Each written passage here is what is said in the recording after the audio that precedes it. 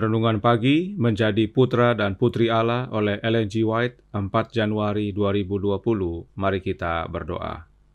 Bapa kami yang di sorga, Allah pencipta langit dan bumi, laut dan segala isinya, Allah yang maha besar, maha kuasa, sumber segalanya, yang kami sembah selalu melalui anakmu yang tunggal, Yesus Kristus.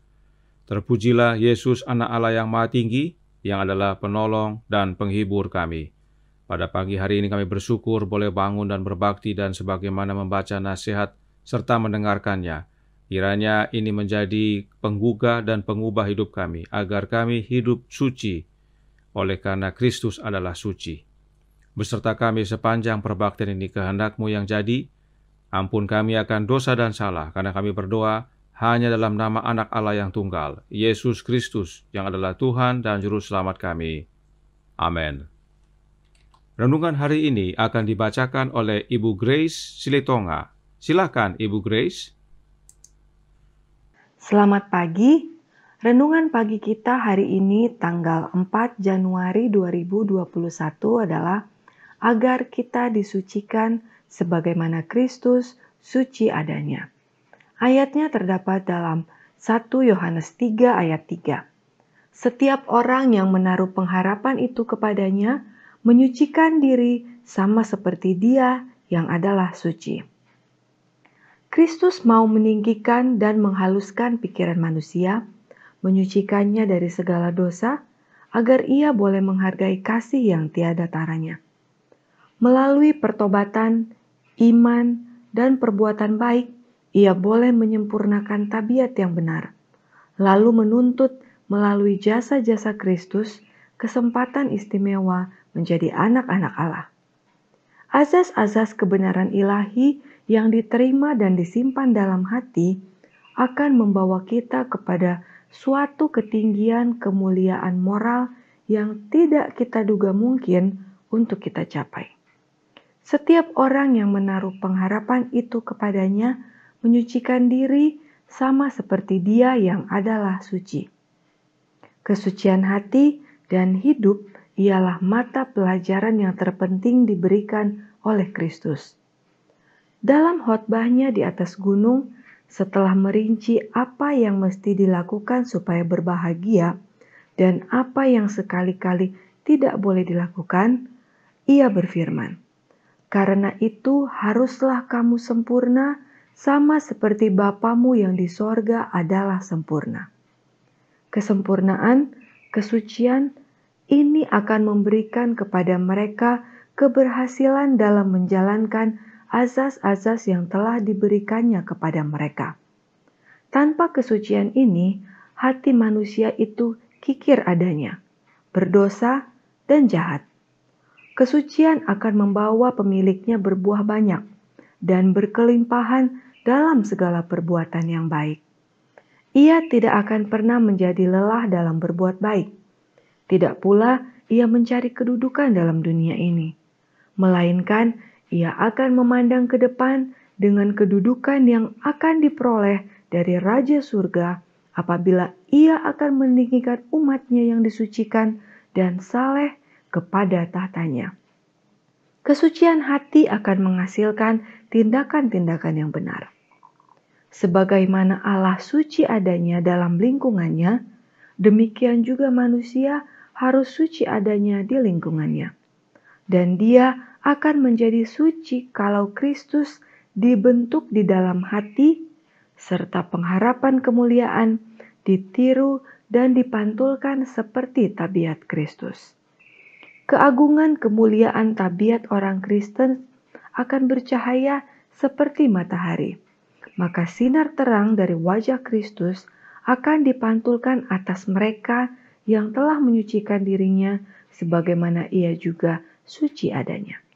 Kesucian hati akan membawa kepada kesucian hidup. Terima kasih. Terima kasih atas penata layanan Ibu Grace. Tuhan Yesus memberkati. Selamat pagi, saudaraku dalam Tuhan.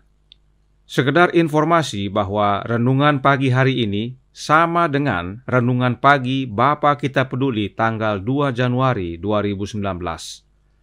Renungan hari ini dikutip dari lima sumber yang berbeda. Namun dalam pelajaran ini, kita akan fokus ke paragraf 3 yang dikutip dari buku Gospel Workers edisi 1915 halaman 366. Khususnya tentang kalimat yang berkata dalam menjadi putra dan putri Allah halaman 12 paragraf 3.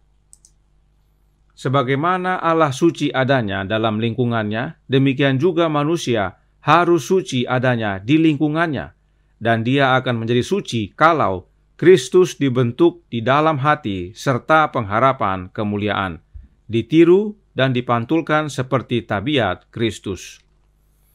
Kalimat yang ditandai kuning, Nyonya White kutip berdasarkan Kolose 1 ayat 27. Mari kita baca. Kolose 1 ayat 27 yang berbunyi, Kepada mereka Allah mau memberitahukan betapa kaya dan mulianya rahasia itu di antara bangsa-bangsa lain, yaitu Kristus ada di tengah-tengah kamu, Kristus yang adalah pengharapan akan kemuliaan. Fokus kita terutama pada ayat versi King James, karena memang itulah dasarnya Nya White menuliskan kalimat tersebut. Dalam versi King James disebutkan bahwa bila Kristus di dalam kita, Christ in you, maka itulah pengharapan kemuliaan atau kehidupan kekal. Sebab dengan memiliki Kristus di dalam kita, maka kita menjadi suci. Dan hanya mereka yang suci hatinya yang melihat Allah.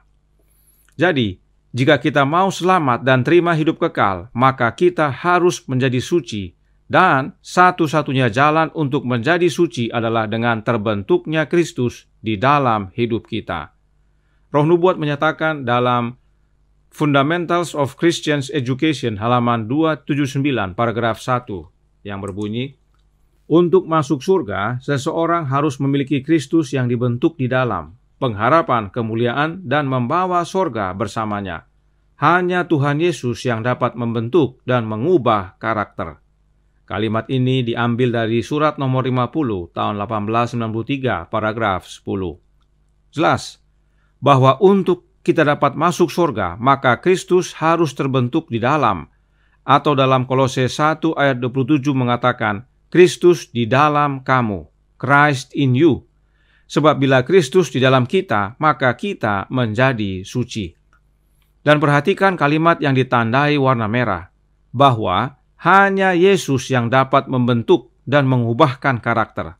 Tidak heran, harus Kristus yang terbentuk di dalam kita jika disebut Kristus yang terbentuk atau Kristus yang dalam hidup kita, itu artinya Kristus itu sendirilah yang dalam hidup kita. Pertanyaannya adalah, bagaimana caranya agar Kristus terbentuk di dalam kita? Mari kita ikuti penjelasan roh nubuat berikut ini dan ingat, Nyonya White menyatakan bahwa roh nubuat menjelaskan dirinya sendiri. Roh Nubuat menyatakan dalam Selected Messages buku ketiga halaman 186 paragraf 3 yang berkata, kita membutuhkan suatu kuasa untuk datang ke atas kita sekarang dan menggerakkan kita untuk tekun dan iman yang sungguh-sungguh.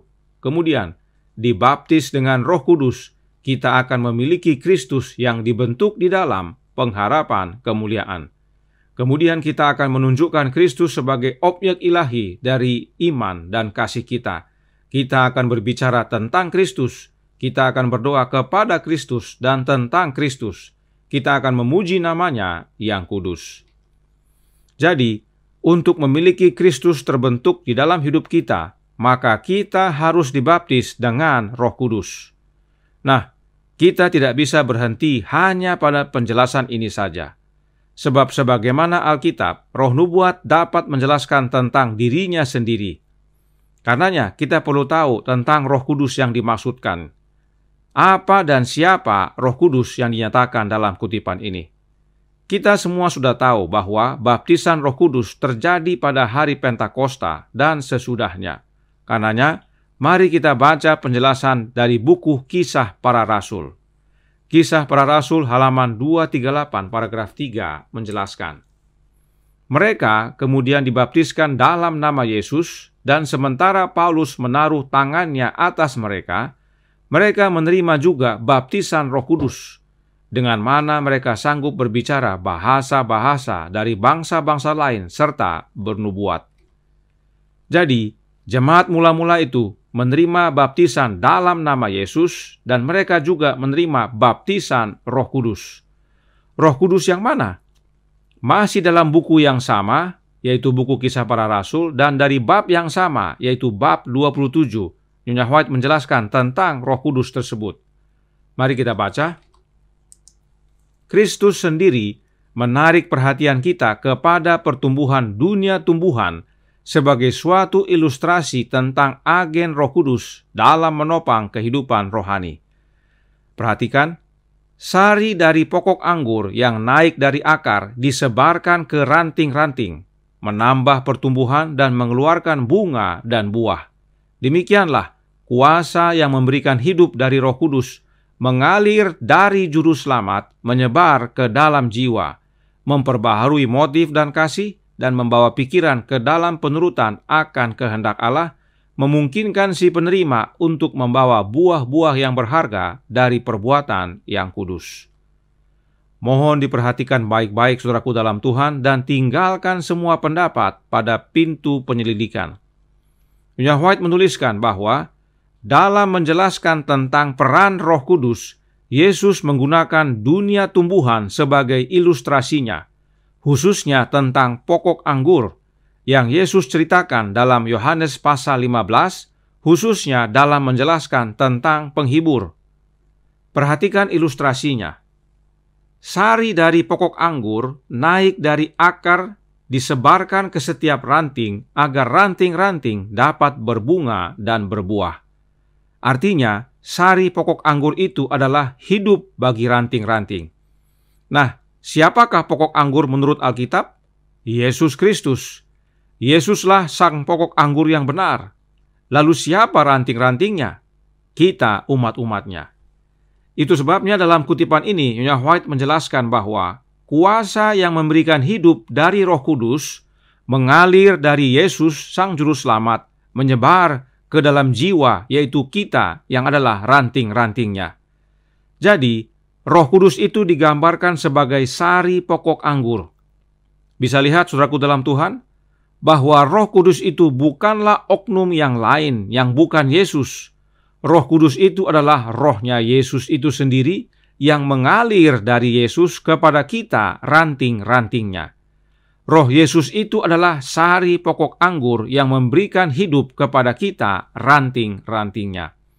Sebab memang Yesus yang adalah Adam yang terakhir telah menjadi roh yang menghidupkan. Baca 1 Korintus 15 ayat 45. Karenanya jelas sekali bahwa baptisan roh kudus yang dimaksudkan adalah baptisan roh kudus yang mengalir dari Yesus, yaitu rohnya Yesus itu sendiri, yang adalah sari pokok anggur. Jika kita dibaptiskan dengan roh Kristus, atau menerima sari pokok anggur dalam hidup kita, maka kita dimurnikan atau disucikan. Dan dengan penjelasan kutipan ini jelas juga bahwa Roh Kudus itu bukanlah oknum lain yang bukan Yesus. Sebab doktrin Trinitas ajarkan bahwa Roh Kudus itu bukan Yesus, tetapi oknum yang mereka sebut Allah Roh. Roh Kudus yang dijelaskan roh nubuat adalah yang di dalam Yesus, yaitu Roh Kristus, yang mengalir keluar kepada kita ranting-rantingnya. Roh Kristus inilah sang penghibur. Perhatikan Nyonya White menuliskan dalam manuskrip 24 tahun 1898 paragraf 12 yang berkata, Aku akan minta kepada Bapa dan ia akan memberikan kepadamu seorang penolong yang lain supaya ia menyertai kamu selama-lamanya yaitu roh kebenaran yang adalah Kristus terbentuk di dalam pengharapan kemuliaan. Dunia tidak dapat menerima dia sebab dunia tidak melihat dia dan tidak mengenal dia. Tetapi kamu mengenal dia sebab ia menyertai kamu dan akan diam di dalam kamu. Aku tidak akan meninggalkan kamu sebagai yatim piatu, aku datang kembali kepadamu. Nyonya White mengutip Yohanes pasal 14 ayat 16 sampai 18 dan Nyonya White jelaskan bahwa penolong yang lain atau roh kebenaran itu adalah Kristus yang terbentuk di dalam hidup kita, dan itulah pengharapan kemuliaan. Inilah yang Yesus jelaskan dalam Yohanes pasal 15 tentang pokok anggur. Nah, apakah benar sang penghibur itu adalah Yesus Kristus itu sendiri, atau rohnya, yaitu roh Kristus? Mari kita baca kembali kutipan berikut ini yang terdapat dalam manuskrip Releases, volume 14, halaman 179, paragraf 2, yang berkata, Aku akan minta kepada Bapa dan ia akan memberikan kepadamu seorang penolong yang lain, supaya ia menyertai kamu selama-lamanya, yaitu roh kebenaran. Dunia tidak dapat menerima dia, sebab dunia tidak melihat dia dan tidak mengenal dia. Tetapi kamu mengenal dia, sebab ia menyertai kamu dan akan diam di dalam kamu. Yohanes 14 ayat 16 dan 17. Ini merujuk pada kemahahadiran roh Kristus yang disebut penghibur. Jelas sekali saudara dalam Tuhan. Roh Kristus inilah sari pokok anggur yang keluar dari Yesus Kristus dan mengalir ke dalam hidup kita yang adalah ranting-rantingnya dan menjadikan kita suci. Kesucian hidup bukan hasil usaha kita, tetapi pekerjaan Kristus dalam hidup kita melalui kehadiran rohnya yang kudus, roh Kristus. Tuhan memberkati, saya bawa dalam nama Yesus. Amin. Mari kita berdoa. Bapa kami yang di sorga, Allah pencipta langit dan bumi, laut dan segala isinya, Allah yang maha besar, maha kuasa, sumber segalanya, yang kami sembah selalu melalui anakmu yang tunggal, Yesus Kristus. Terima kasih atas kebenaran indah yang kami terima pagi hari ini, bahwa kami bisa hidup suci asal Kristus hidup dalam hidup kami, Kristus terbentuk dalam hidup kami, dan itu hanya oleh kehadiran rohnya Kristus itu sendiri. Karenanya, curahkan roh anakmu ya Bapa ke dalam hati kami. Tolong kami agar hidup suci dan hidup setia sampai Yesus datang menjemput kami semua. Beserta kami sepanjang hari ini kehendakmu yang jadi, ampun kami akan dosa dan salah, karena kami berdoa dalam nama anakmu, Yesus Kristus, yang adalah Tuhan dan Juru Selamat kami. Amin.